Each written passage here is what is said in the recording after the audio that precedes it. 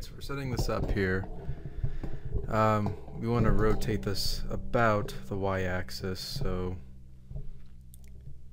why would it be better to use um, shells as opposed to slicing this? So um,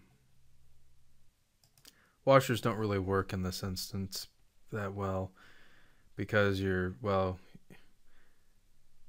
not only um, it's just hard it's hard to wrap that around completely. So we're going to use a shell here. I got this lined up to explain it. So setting up this equation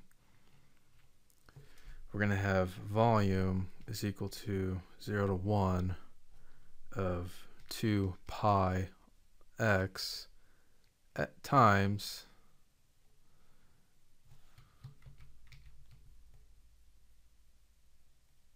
well actually sorry 2 pi x the outside x minus 1 squared dx. So we're going to have 2 pi 0 to 1 of x squared x squared plus 1 minus 2x dx. Alright.